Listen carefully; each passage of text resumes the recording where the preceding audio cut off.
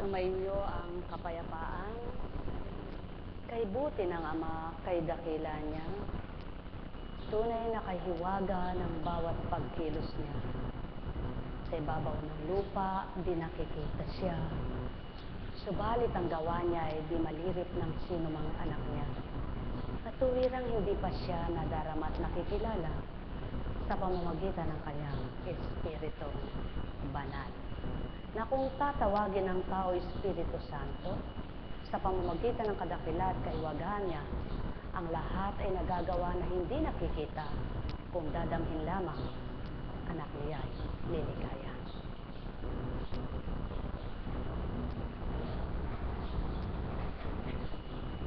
Purihin, purihin, purihin ang Ama.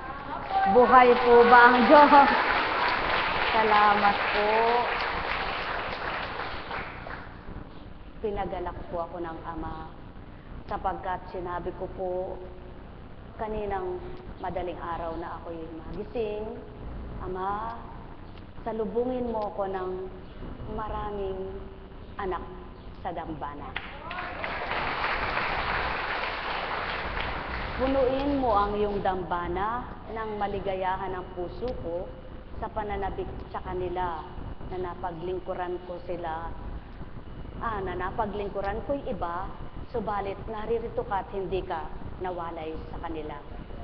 Sa mga alagad na nagbata, mga caps, IT team, choir, sa ilang araw, congratulations sa inyo. Hindi man po ako araw-araw makapag-Skype sapagkat ah, yung oras ng gawain, kami naman ay wala para makapag-Skype at makipag-usap dito. Subalit gayon pa man, hindi po nawawala ang Espiritu sa dakong ito sa inyo na kung sino ang tapat na kumilala at tumanggap sa dakilang Ama, kayo ay nagliwanag at nakaunawa, kayo'y nakadama at may natanggap. Kaya sa inyo pong mga pasyente na hindi nasubukan, congratulations! Tunay nga pong mahiwaga ang Ama, dakila siya. Habang ang mga alagad na nagbabata sa dakong ito ay nakikibaka sa bawat araw, bilang isang apo kunching, nagbabahagi naman po sa dakong doon ay pinadpad ang aking katauhan na maraming salamat sa aking mga kapatid. Ang aking pong mga alagad na si kapatid na Feli, kapatid na Lourdes, kapatid na Vicky, at sa alagad ni kapatid na Feli kay Sani, kapatid na Sani,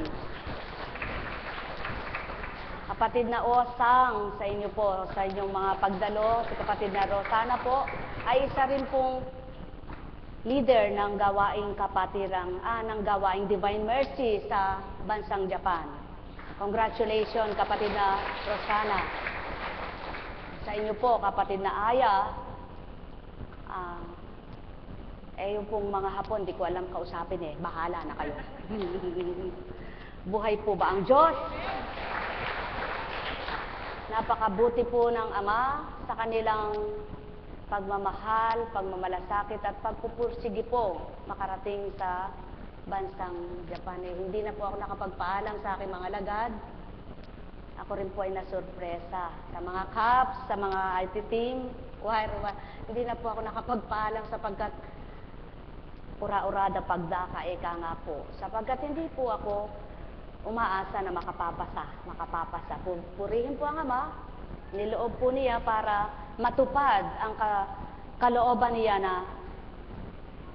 magtagumpay ka nawa, mahal na kapatid na Feli, sapagkat pinasuot na siya ng kasuotang puti. Na sabi nga po ay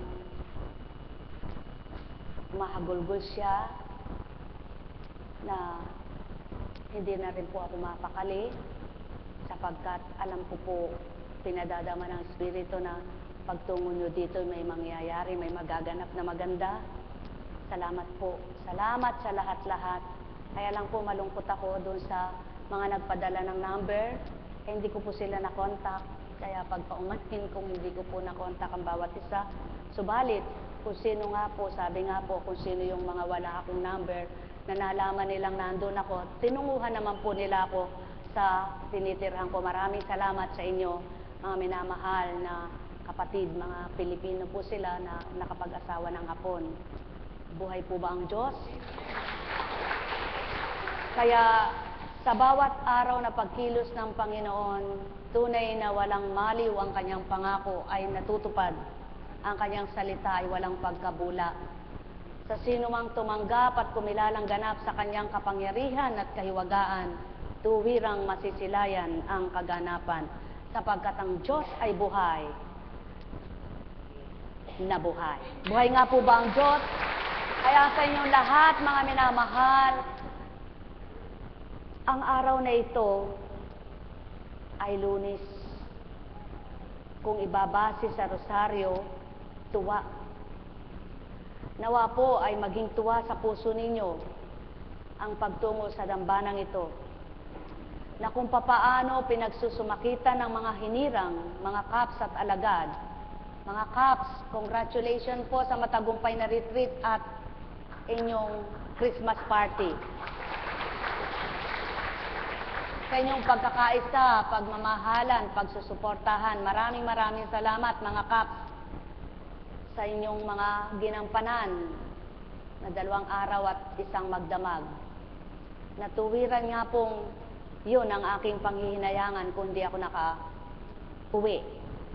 At kay kapatid na Alan, happy birthday, mahal na kapatid ko. Mahirap pong kalimutan ang gampaning ito. Mahirap pong layuan. Subalit kailangan, kailangan po upang matupad ang tinuran na hindi lamang sa dakong ito maglilingkod, kundi hayo sa iba't ibang dako sa ibayong dagat. At ito na po ang katuparan sa kalooban ng Ama na kung hindi niya po kalooban na hindi magaganap. Kung tungo ka lang sa kabilang bayan, na wala pong mga visa, eh, kagustuhan mo, pwede mong gawin. Subalit kapag pinag-usapan na yung visa, kapag hindi kalooban ng Ama, hindi magaganap. Buhay nga po ba ang Diyos? Kaya sa inyo pong lahat, nawa ay maging masaya kayo. Kung papaano ang Ama ay naghahanda sa bawat araw para sa kanyang mga anak, ihanda nyo rin po ang sarili ninyo na tumanggap ng ganap sa Kanya upang kayo ay malubos ang pananalig at pananampalataya at malubos din po ang inyong kasiyahan. Ang bawat araw po ay walang kupas ang paghahandog ng Ama. Na kung papaano ang tinuran niya, pag uwi mo anak, may sorpresa. Buhay po ang Diyos. Sabi ko nga po, hindi ko man kayo lahat mapasalubungan dahil wala man po akong hanap buhay doon. Subalit, kung tumanggap po ako, pinagbili ko si Kristo, nakakahiya po. May nagbibigay po sa akin mga ginamot, mga benedisyonan, nakasobre. Sabi ko, ba, lapad ito ah, lapad. Kaya lang po, sabi ko, Panginoon, di kita kayang ipagbili. Di kita kayang ipabayad. Pero tinutudyo po ako ng isa. Sayang yan, Eka. Sayang, dalin mo, dalin mo. Kunin mo, kunin mo. Sabi ko, Panginoon, wag manaig ang aking kaloban na kaloban mo magari. Pasubali ko, Constancia, hindi ka nagtungo rito para kumita. Bow. Buhay po ba ang Diyos? Salamat po, purihin, purihin ang Ama. Sa katotohanan po, yung isa eh, nagbalik pa ng umaga. Kaya lang hindi siya nakapasa. Tiningnan po siya ng Espiritu kung bukal sa puso niya ipagbibigay. Na-reject po siya. Kaya iniwan ko yung dala niya. Patawad. Kaganda pa naman. Sana pamimigay ko eh, wallet na maganda. Kaya lang eh sabi ko, baka yung bigyan ko naman ay maging ano, ano po. Napakabuti ng Ama. Bakit po ito'y binabahagi? Sabi ko po sa kanya bago ako lumuwal, Panginoon, huwag mo akong pahintulutang magyabang. Magkasala, magsalita ng hindi mabuti at hindi totoo. Ibuka mo ang bibig ko sa nararapat na gusto mong ipahayag ko at ibahagi ko sa mga kapatid ko sa naganap sa akin doon. Subalit huwag ang ganang sa aking kalooban, kundi ang ganang iyo. Kaya kung ano pong ninunukal at dinaratal, yun lamang pong masasambit ko sa inyo. Marami pa pong kaganapan na hindi na po binabahagi, eh, yun lang po talaga. Kaya, ibig sabihin, kung ano po ang kagustuhan ng Ama sundin, kung anong kalooban niya, ito pa rin, siya po ang maghahari sa atin. Buhay po ba ang Diyos? Katulad ng panahon ni David, binaybay ang istorya, binindisyonan ang kanyang mga anak. Sinabi kung anong magaganap. Maging ngayon sa panahon ng Espiritu ang mga hinihirang, kapag dumaloy ang Espiritu sa katauhan, nagaganap ang magbendisyon, nagaganap ang mangusap. Kung lahat po kayo'y nagtiwala sa mga pinagtiwala ang pinagbendisyon sa dakong ito, habang wala ang apo kunching, di man ngayon, di man bukas at di man sa bukas pa uli, at kinabukasan pang uli, magaganap. Kung pagtitiwala ninyo, magaganap po ito sa buhay nyo. At hindi po nakabatang nagbendisyon ng mga alagad sa buong isang anim na araw. Ano po? Sapagkat maliwanag po ang katotohanan na mahirap pong magbendisyon. Mahirap magbendisyon. Kung magbebendisyon ka para sa sarili mo lang nakagustuhan at kalooban, subalit hindi kalooban ng Ama, mahirap pong tumupad. Kaya hindi ko po sila pagagalitan. At wala po silang maririnig sapagkat yun po ay dito nagmumula. Dito nagmumula at dito binabahagi. Kaya kung wala, nakakatuwa po yung mga nagsasabing ng gamot eka ako eh, ang hawak ko si Kristo, ang hawak ko sa Santo Niño, ang hawak ko si ganon. Alam niyo po, meron nga po doon eh, nagsasanto ninyo. Sinuran sa kanya ito. Magbalik ka sa dating ikaw, sa pangungusap mo, na hindi na kailangang ikaw ay magbulul-bululan. E magsalita po na,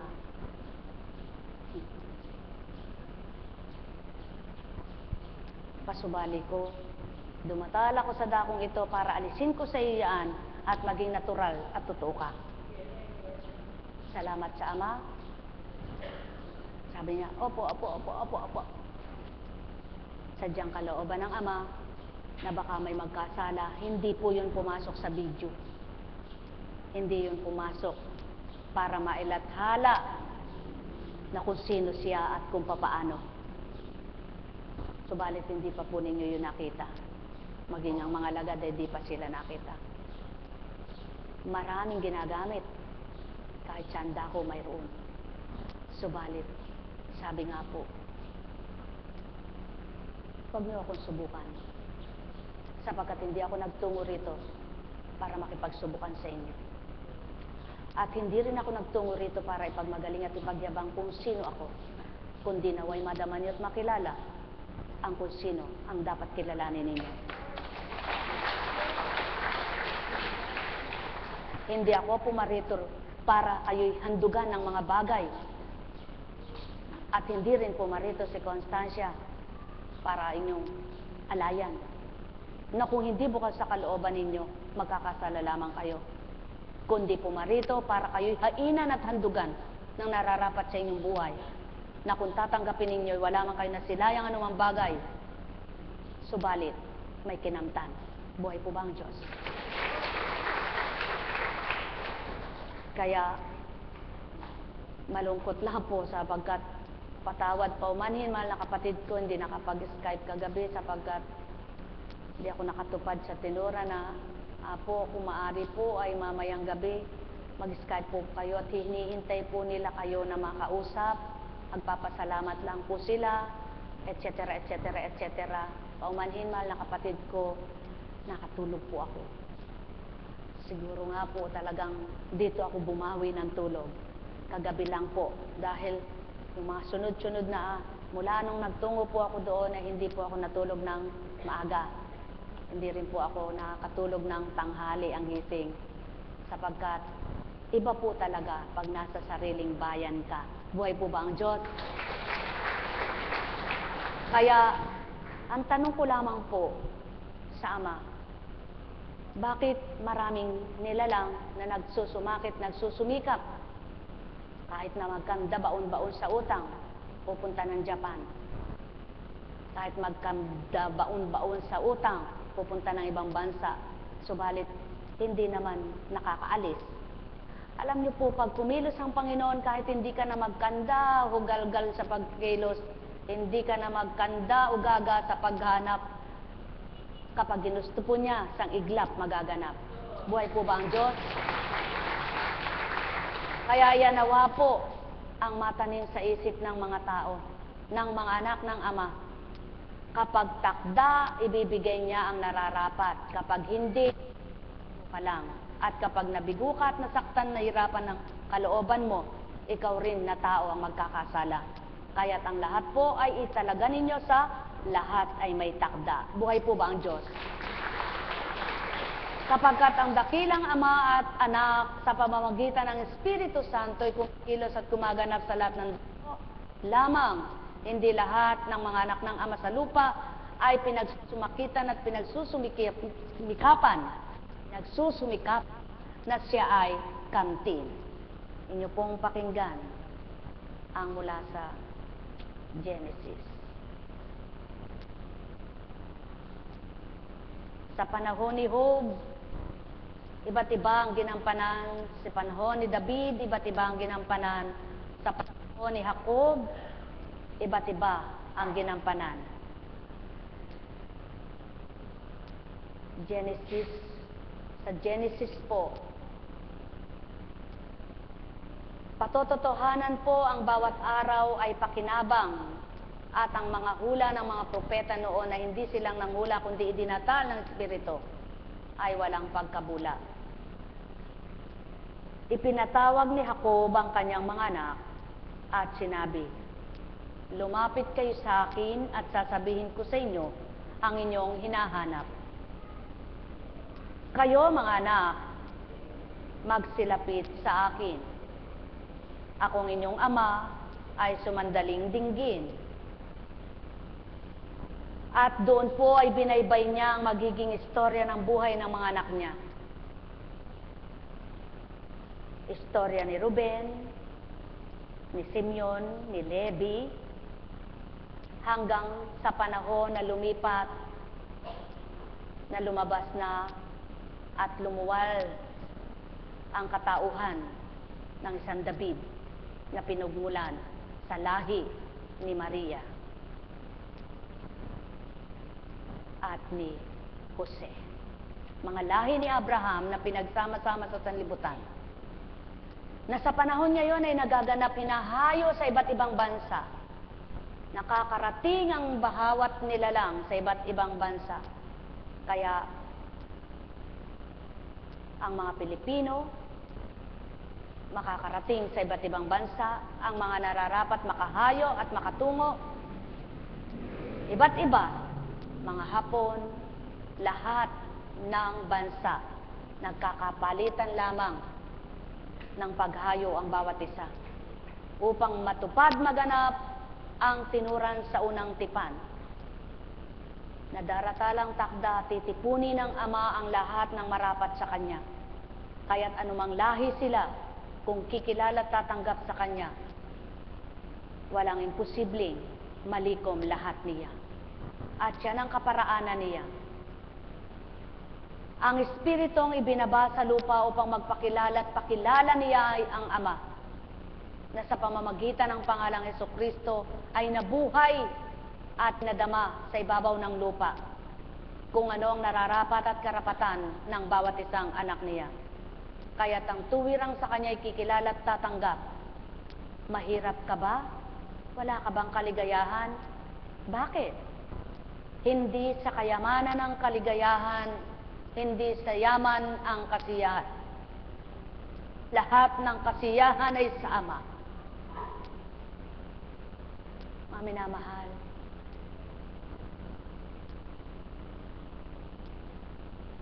mapapalad kayo sa dakong bansang Pilipinas na tinatawag sapagkat mahal na mahal ng Ama ang Pilipinas. Mahal na mahal ng Espiritu ang Pilipinas. Paniwalaan man at hindi ng lahat ng bansa, mahal ng amang Pilipinas. Sapagkat sa Pilipinas, maraming kumikilala sa kanyang espiritu. Maraming tumatanggap sa kanyang pahayag. Maraming nakakilala sa kanyang anak na Heso Kristo. Samantalang sa iba, ang kinikilala nila ay mga Buddha.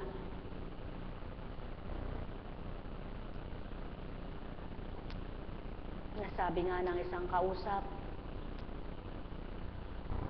ito po ay nakalagay doon sa aking Buddha. Bakit? Sabi ko. Mana ko pa po ito sa aking lola eh. O ba nakalagay sa banal na aklat? Kaya nga nagalit ang ama sa pagsunod ng mga tao sa maling pananampalataya. Ano tinatago mo pa yan?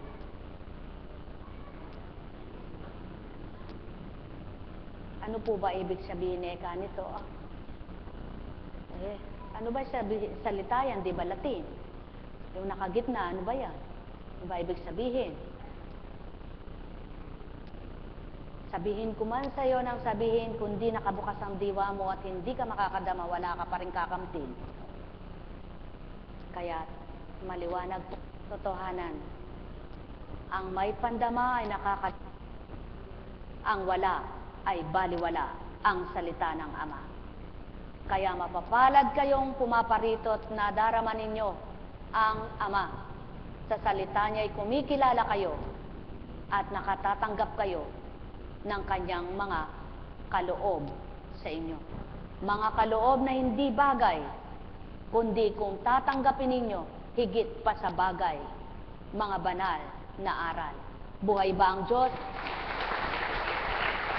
Kaya sa pamamagitan ilan at kahiwagan ng Ama ang lahat, ay binigay niyang paraan para magkaugnay, magkasundo-sundo, magkakilakilalanan, at magkaisa ang bawat anak niya.